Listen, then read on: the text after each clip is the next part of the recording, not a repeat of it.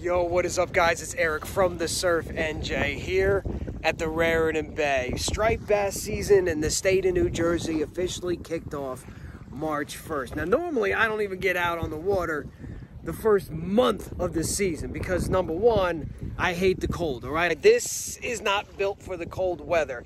And number two, usually you're hearing the reports and you know, you're catching some rats here and there. Nothing's really popping until April comes around. But this year, for whatever reason, it's been hot and it's been on fire from week one. Week one of the season, I was fishing with my Toms River boys, Enzo and Dave, famous Dave, who caught himself a 34 inch keeper in the back of the river in 43 degree water with a white paddle tail at low tide seven feet in front of him. Nothing about what I'm saying right now is making any sort of sense to me, but it just goes to show you that every year is going to be a little different. Now, as for me, listen, I've been trying to make a video for you for the last month, all right? I've been down where the Mullica meets the Great Bay. Ah, I had a rough time of it. I, I, I've been where the Toms meets the Barnegat Bay. Had a, had a rough time of it, although your boy got on the board about a week ago, week ago. with this little guy in the Toms River. But right now, the Raritan Bay is going to start kicking off, especially where the Raritan River meets the bay because the water's getting warmer. The bunker are splashing. They're eating up the worms, and we're getting ready. We're soaking some bloodworms, some bunker chunks. Let's see what happens.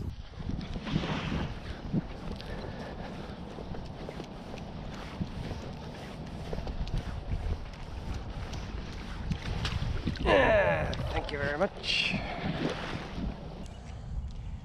You know it's a good day when you just got free bait. Alright, so there's the bunker chunk still there. Uh, like literally just right in front here.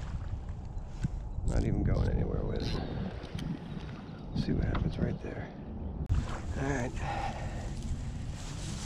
And I did buy some bloodworms.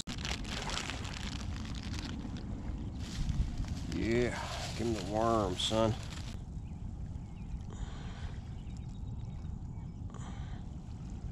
I'm gonna put some stank on it. This one we're gonna airmail a little bit. We're gonna get a little bit deeper water.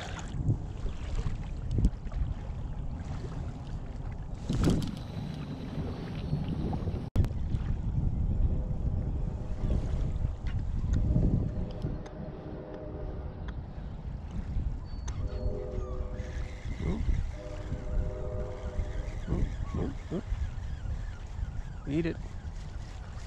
Eat it. Eat it. Eat it. There he is. Oh, yeah, there he is. There he is. Oh, we're on, guys. Oh, there he is. All right. Okay. Come on, come on, come on. Get up here, get up here, get up here. There you go.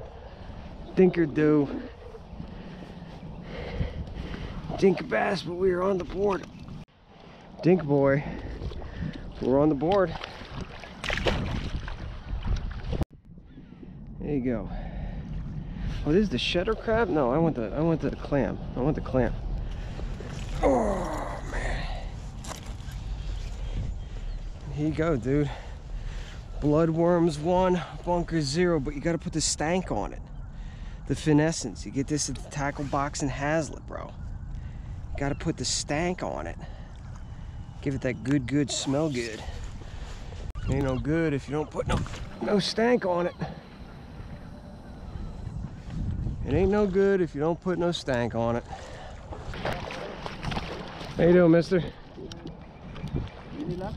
Little one on the board. Just a little. Stripe. Stripe, yeah. Oh, they But they all over. Yeah, they're already out here. You can see all the bunkers washed up yeah. on a lot of bunker. a lot of bunker. It's the way. Oh Yeah. my god. From there up to there, all bunker. All bunker? Yeah. It's all over here. I believe it. Yeah.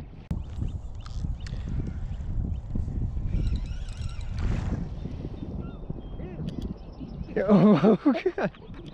I can't. I can't go fast enough. I can't go fast. Oh, oh shit. Nope. That. That. Yeah. That. Okay. That one seems a little bigger. Oh, okay. Okay. Yeah.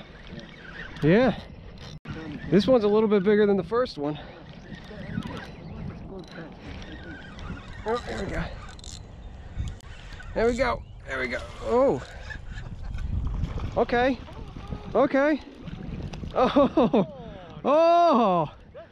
Oh, right. Okay. What do you think? 23? Tw 23? Bet he's 23. 23 on the button, E. Look at that. Thank you. 23 on the button. What's happening, bud? They're out there.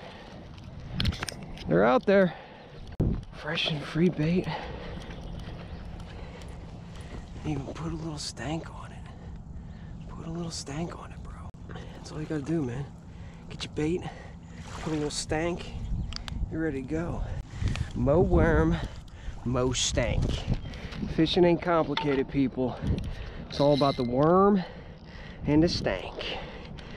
Ooh, yeah.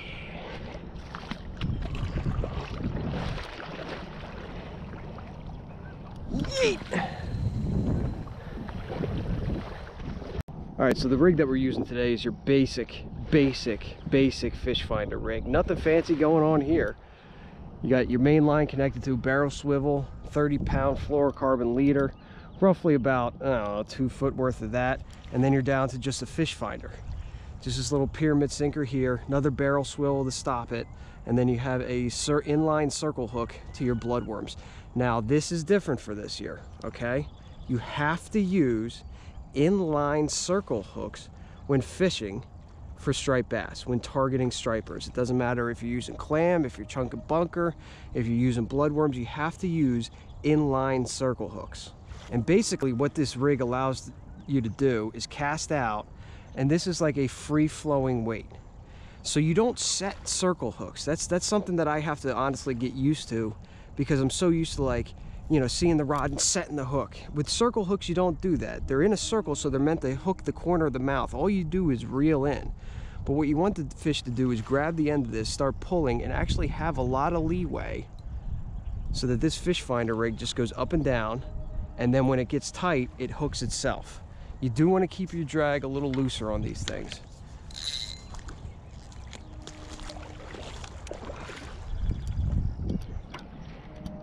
Eat the worm, Essay. Eat the worm.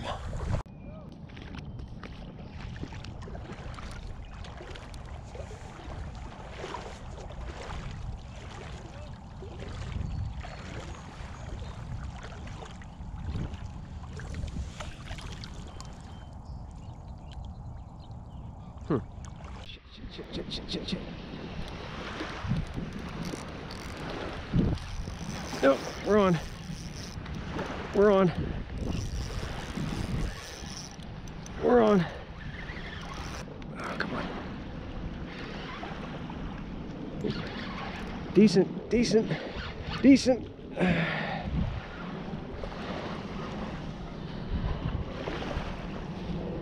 Nice. There we go. There you go. Another Jersey schoolie. About 20, about 20 inches. There he goes. I tell you, I'm having better luck with the bloodworms than I am the bunker. But I'm also having better luck with the clam stank rather than the shedder stank. Either way you put that stank on it. Look at all the bunker. Look at all the bunker. You seeing this? Seeing all the bunker? All this, but look at all the bunker right here.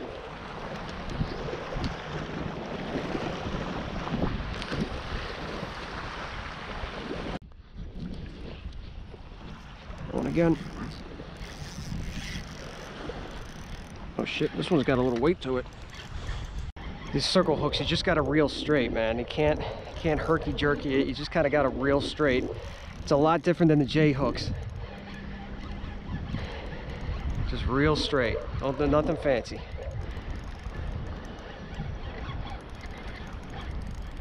Come on, come on, come on, come on, come on.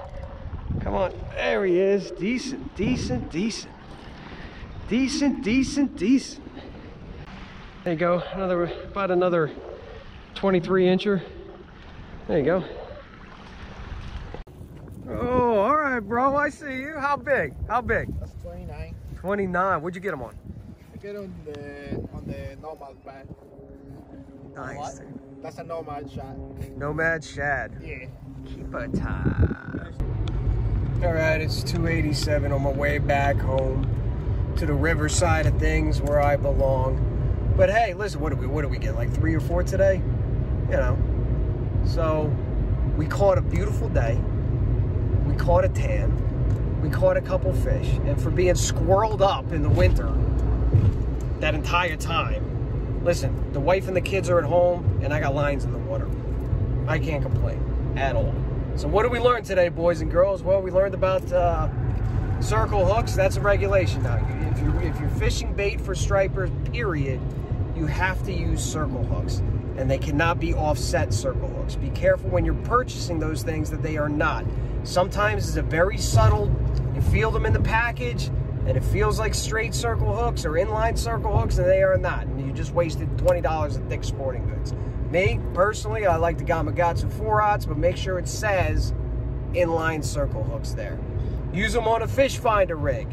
Uh, you know, striped bass fishing, Raritan, Island Beach State Park, when I'm putting clam on, it's always been high lows. It's always been high lows. Take it from a guy who's missed, missed his, his fair share of fish this year because he's been trying to work circles on a high low.